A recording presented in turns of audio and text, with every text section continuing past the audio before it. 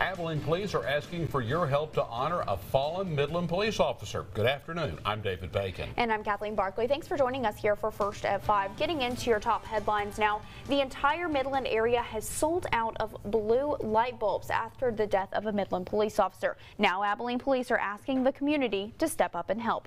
Donations are being accepted at the police department here in Abilene at 450 Pecan Street until 9 a.m. tomorrow. A family member will then collect those light bulbs and bring them to Midland for the funeral service. Officer Nathan Heidelberg was shot and killed while responding to an alarm call early Tuesday morning. A police report states he identified himself as a police officer, but the homeowner claims he mistook Officer Heidelberg for a criminal and opened fire. David Wilson has been charged with manslaughter in connection to Heidelberg's death.